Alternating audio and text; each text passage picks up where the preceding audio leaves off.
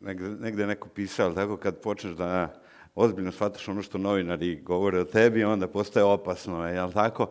A mene to asociralo na izjave jednog mog prijatelja. Znaš, kad se čovjek vine u stratosferu, tamo ne valja, jel tako, gore razređen kiseonik, pa prvo, a, prvo, prvo strada mozak. Znači, hvala Zoranu na ovim a, lepim rečima.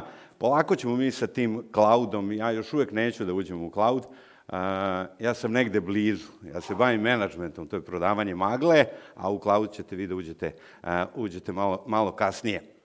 Kad me Vesna pozvala i rekla, hoćeš da dođeš Boris, ove godine nam je tema transformacija poslovanja, s tim što mi nije rekla ovo digitalno na početku, ja sam rekao sa velikim zadovoljstvom, to je oblast kojom se ja bavim, odnosno kojom se mi bavimo, samo ono čime se mi bavimo, jeste organizacijona transformacija. Vesna me pronašla u trenutku kad sam čitao knjigu Upravljanje promenama, knjigu koju sam prvi put pročitao pre 20 godina i čiji sadržaj sam prepriča, prepričavao, ajde, nisam je prepričavao, nisam bio ni samo prezenter, nego bojio nekakvim svojim iskustvima, pa mislim više od hiljadu, hiljadu puta ovih zadnjih 20 godina. I kažem, ona me zove, kaže, ajde da pričamo o transformaciji poslovanja. Rekoh, ja se bavim organizacijonom transformacijom, a onda sam negde odlučio i zajedno smo se zagovorili, neću da vam pričam o organizacijonoj transformaciji, neću da vam pričam o šta, Pričat ću vam o kako. Pričat ću vam o tome šta smatram da je, e, odnosno šta mi smatramo sve da je neophodno da bi se sve ove promene koje ćemo pričati, i o kojima ja pričam i o kojima ćete vi da pričate, uopšte sproveli u organizacijama, sve ove promene, i žao mi ode čovjek, a, gospodin Stojanović malo pre spomenuo, mi smo sve tu radili, samo je, ali tako, građani još da krenu to da, da primenjuju, a baš sam teo i tu malo da dam odgovor odgovor na tu priču. Elem, knjiga Upravljanje promenama i kad sam je čitao i razmišljam, ima jedna, mislim da je ajde, istinita anegdota, povezuje dva čoveka s kojima ja ni sa jednim ni sa drugim nemam ništa zajedničko, Amfilohija Radovića i Čedomira Jovanovića, po toj legendi, Čeda, ovaj Amfilohije je krstio Čedu Jovanovića tamo dok je Čeda, je tako, bio mlad i, i da ne vičem šta je bio, šta je sad. I kao krstio ga je on i Amfilohije pre neke godinu komentariše, kaže, ništa se peča časni nije primio na čedu. E, ova knjiga Upravljanje promenama, kažem, čitajući je, sve da potpišem, najprodavanija knjiga iz menadžmenta na prostoru koji se nekad zvao Jugoslavija i u Srbiji, u Hrvatskoj, Makedoniji objavljena, u Sloveniji objavljena. I ja je čitam i razmišljam, ništa se peča časniji iz hiljade i hiljade ovih primeraka knjige što piše unutra, nije primio na, nije primio na, na čitaoce i smatram da ponovo, neko me pitao, hoće Boris opet biti nešto poznato? Da, bit će opet nešto poznato. Ne možemo da pređemo na sledeći korak dok nismo raščistili, jel tako, taj prvi korak. A, ajde da ipak bude malo blizu, blizu vas. A, iskoristio sam, imao sam pre neki dan prijatno druženje sa ovde prisutnim Sašom Jocićem iz Kinteka i onda me on bombardovao nekakvim podacima da se u minuti razmeni, neću ovo da čitam, samo ću prvo, 695.000 statusa, to valjda na fejsu, 98.000 tweetova, ne znam ni ja, čega, sve u minuti. Da postoje, ja sam i dalje na nivou, izvinite, te, terabajta, on mi kaže, postoji i jotabajt, i zetabajt, i ne znam, još je rekao neki bajtovi da postoje. I kako je on to pričao, ja jednom tutku rečem, kažem njemu, e, Sale, da se mi lepo svi odmah poubijamo, jel tako, ovo ja više ne mogu da ispratim. Ono što je on ovde pričao, ono što ćete vi ovde da pričate, ima jednu zajedničku reč, a ta reč je promene. I ja ću kratko, sad me, ovo sa 15 minuta, eto i opet mi napravio promenu, bravo, i doveo me do problema i morat ću da nađem nekakvo rešenje. Iz ove iz ova tri sasvim logična, je tako, tri sasvim logične reči i ovog slajda, hoću da, ovog sleda hoću da izvučem nekoliko, e, nekoliko poenti. Prvi je, dok smo živi, bit će promen. Znači, i, na ovo, i ova moja reakcija na Sašino, je tako, ajde da se svi poubijamo, jeste odgovor na pitanje kad promena neće biti. Onog trenutka kada ne bude nas. Svaka promena će dovesti do problema. Ovo, ima ovde puno i onih ljudi koji su konsultanti, ovo može njima da ide u prilog sad ovo što pričam ovde. Što smo življi, bit će više promena. Što je više promena, bit će više problema. Ljudi vas zovu sa idejom da im pomognete da rešite nekakav njihov problem i da biste doveli njihovu organizaciju u situaciju kada nema problema. Kada neće biti problema, kada ne bude promena. A promena neće biti kada budemo mi, kad ne bude bilo nas. Šta ovo znači? Ovo znači da šta radimo kada radimo i vi koji ste konsultanti, odnosno čak i vi kad uvodite neke promene u organizacija, u vašim organizacijama, ili ja kad sa mojima dođem da radim nekakve organizacione promene, a šta mi radimo? Rešavamo jednu vrstu problema da bismo se susreli sa drugom vrstom, uh, drugom vrstom problema. Uh, šta znači rešiti problem koji nastaje usled promene? Znači uvesti novu promenu. A šta znači rešiti problem koji nastaje usled promene? Znači dve stvari. S jedne strane znači doneti odluku, s druge strane sad da se ne šetam, inače kad, da ne maltretiram moje ljude, inače kad ovo objašnjavam, a ja obično po pravilu odem i na druge stranu, znači sprovesti odluku. Zašto se šetam? Da bih ljudima pokazao i, jel tako, i fizički prikazao da se radi o dve stvari. Moram ja ipak ovo da skinem. A, Počelo je. Ako, ako uspem, samo da idem. Da. Ajme pomozi, imam promen. E, e, e, bravo. E, znači, znači, doneti odluku i sad otišao sam tamo, znači sprovesti odluku. Zašto se šetam? Zato što se radi o dva ambijenta, dve svete knjige, pravila kako se donose odluke i druga sveta knjiga kako se sprovode odluke. U kom ambijentu je veća verovatnoća donošenja dobre odluke? Šta mislite? A ja ću da pomognem da ponudim, ponudim odgovor. Da li je veća verovatnoća donošenja dobre odluke u ambijentu koji se naziva demokratija? Kad kažem demokratija, onda kažem pravo da čovek kaže šta misli, da dobije informacije koje ga se tiču, gde postoji neka mogućnost, jel tako, razmene informacije, ili je veća verovatnoća donošenja odluka u onom ambijentu koji se naziva diktatura? Pitanje je lako, ajde pomozite mi, nemam puno vremena. Trebalo bi u, u demokra... trebalo bi u demokratiji. U Hercegovini su me naučili mudrost, kaže čovek i magare znaju više nego čovek, jel tako? Znači ovde o čem ja pričam, više njih, jel tako, kad priča, veća je verovatnoća donošenja dobre odluke. A gde je veća verovatnoća sprovođenja? U demokratiji ili u diktaturi? U diktaturi. E, to je nekakav mali kunst dobrog upravljanja. Kako biti demokratičan, kako biti otvoren dok donosim odluke, ma koje one bile uvošću, otiću u cloud, uvođenje novog ERP-a, jedno, drugo, treće, da budem bliži vama, kako biti otvoren, demokratičan dok donosimo odluke, a kako posle preći u diktaturu dok sprovodimo odluke. Samo kratko, a, odlučivanje može biti autokratsko i demokratsko i sprovođenje može biti autokratsko i demokratsko. A, samo ću vas pozvati da pogledam ovaj a, umesto ovog, sad bi to bio prvi, drugi, treći, e, umesto drugog ovog prvogonika da pogledamo ovaj treći, jel tako, gde je presek e, autokratskog donošenja i demokratskog sprovođenja. To je jedan od uobičajenih načina ili jedan od češćih načina donošenja odluka, u, odnosno rešavanja promena koje nastaju usled problema u organizaciji. Autokratsko donošenje, demokratsko sprovođenje. Ajde da budem, da prebacim se na naše privatne živote. Ja ću na pauzama, ćete videti, i dalje pušač, ali mi pušači, oni koji idu na dijete, onda oni koji odlučuju zdravije da žive, kakve one, kako oni donose odluke, neredko, jel tako, od sutra, od ponedeljka, od prvog, od nove godine, ostavljam cigare, idem na dijetu, prestaću da, pu, odnosno trčaću i tako dalje, a onda šta krene sutra ili jel tako tog od ponedeljka ili od prvog, onda krene demokratija u sprovođenju. Šta to znači? Pušit ću pet cigara na dan, jel tako, pušit ću samo uz kafu i tako dalje i tako dalje. To se neretko dešava i u organizacijama. Od sutra ima ovde zna, da se zna reda, jel tako, ima od za 15 dana da krene da se elektronski overavaju knjižice, jel tako, a šta se posle toga desi? Onda krene demokratija, jel tako, sad ćete vi da vidite kako ćemo mi to, kako ćemo mi to da sprovodimo. Znači, šta podrazumeva pojam koja se zove demokratura?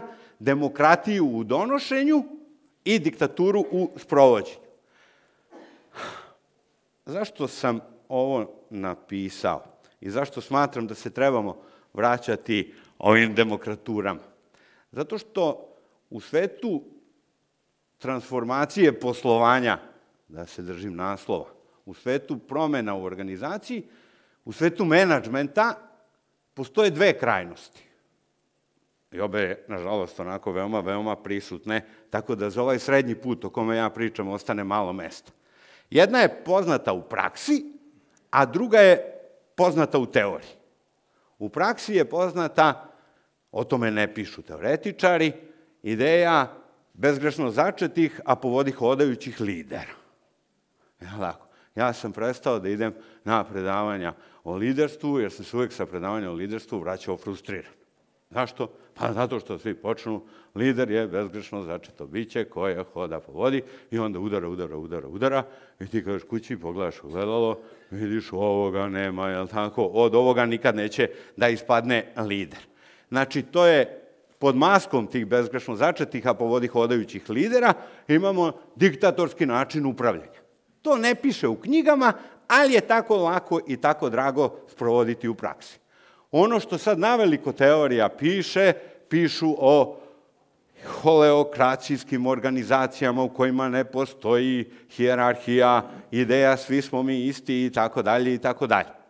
I za jednu i za drugu, ja sam malo parafrazirao Branka Miljkovića i rekao, najlepše pevaju zablude, ali boga mi i koštaju.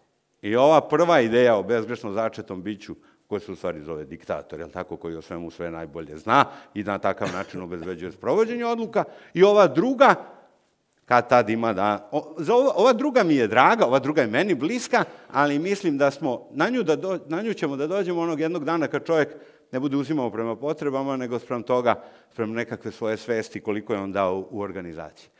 A, srednji put demokratura ima jedan preduslov, a to se zove participacija i participativno upravljanje. I ovde opet, da se i ovde neću dugo, nego ću idem odmah na ovaj slajd koji mi je važan, koji mi je bitan i koji će možda pomoći malo da da odgovor na ovo pitanje, jel tako, sve smo mi uradili i sve je država uradila, samo i građani još to da počnu da a, poštuju, ili će dati, a, dati odgovor da je i unutar države i unutar toga onog ko ima nekakva ovlašćenja, postoje neki koji imaju moć nad odlukama.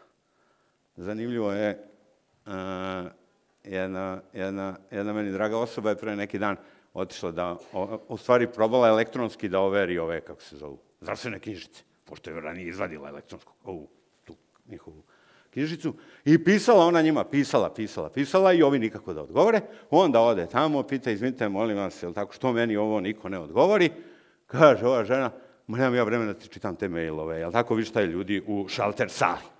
A, o čem pričam? E sad dolazim na pitanje ko u stvari ima moć nad promenama, ko ima u stvari moć nad transformacijama. Obično kad kažemo pitanje moći, onda ljudi gledaju negde u vrh hjerarhije i kažu gore se nalazi moć. Kad želite da vidite ko ima moć nad promenama koje želite da sprovedete u organizacijama, nemojte pogled držati gore. Spustite pogled dole. Ko ima moć? Oni koji su izvršioci. Aj dva primjera. Jedan je, Zorane, neki, to, to je kad budem na pet, prošao pa, sam. Evo da kažem, Ajde. tri minute još. Dobro. A, Uh, jedan je davni, davni, kada nismo, uh, kada nismo se odmah kačili na Wi-Fi-eve i ove, kako se zove, ADSL-ove, a tog se svi sećamo, je tako, nego kad smo se na onaj svet penjali, je tako, da otkucamo, dial-up se zvao, tako, i onda i a, i a, i, i, e, sad si na onom svetu. Znači, u ta vremena, velika agresivna marketička kampanja, tada najvećeg provajdera u Srbiji. Šta znači agresivna marketinga kampanja tada najvećeg provajdera u Srbiji? Znači, ne može, zapamtio sam i dan danas i neka se noću probudim, vaš kontakt sa svetom je bila, jel tako, parola koju su oni slali. Ono, ne možeš gledaš film, bu, vaš kontakt sa svetom, futbol, bu, vaš kontakt sa svetom, kupiš novine, zadnja strana, prednja strana, bu, vaš kontakt sa svetom, frižider, bu, vaš kontakt sa svetom. Znači, u ta vremena, agresivno marketing, odlazim ja da platim za sebe, ne znam, 10 sati i zamoli mene sekretarica, ajde uzmite i za firmu, firma bogata, ona će 20 sati da plati interneta.